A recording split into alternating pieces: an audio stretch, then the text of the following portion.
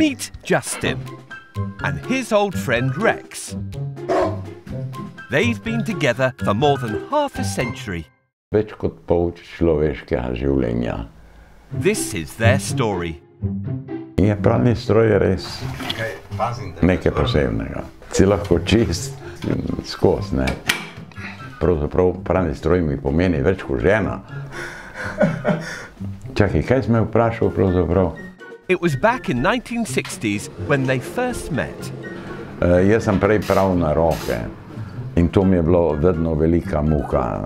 Kupil sem ga uh, v trgovini Nama nasproti stare pošte v Ljubljani in pripeljal mi ga je eden, ki sem ga jaz kar tako na cesti dobil, pa so pa bili moji znanci, Ej, ti imaš pralni stroj, ti si, ma jaz, mene nikdar ni bilo avto, mi ni pomenil nič pralni stroj, eh, mi je pa pomenil zelo veliko, ne. Koliko ste bil približno star? Koliko je njih? 28 let.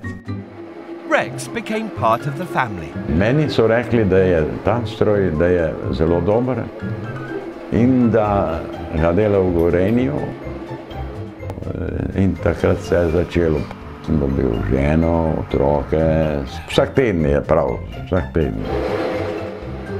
Jaz grem v gost, pa tudi eh, kaj žaham, pilim, eh, te obleke, tudi kdaj pride od olja, spravljam vse proč, brez problemov. Ne. Dopolnil sem 80 let. Jaz mislim, da tak stroj, kot so naredili ne, v Gorenju in da toliko časa dela, to se pravi, da lahko imaš v firmu več kot zaupanje. Rex has to retire. But Justin will keep his shirts clean, that's for sure. Sem zelo vesel, sem zelo zadovoljen, da so se odločili, da mi podarijo za zgodovinski stroj nov pralni stroj, ki bo trajal, upam, vsaj toliko kot ta.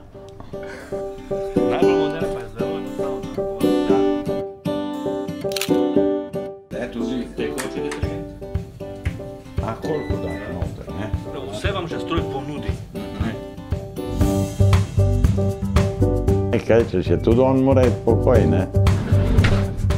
Sem dobil drugega, ne rabim tebe več. Ja, srečno. Hvala lepa. Naj vam res pridem služiti. Dobre, dovolite, da zdaj gremo tam vpred.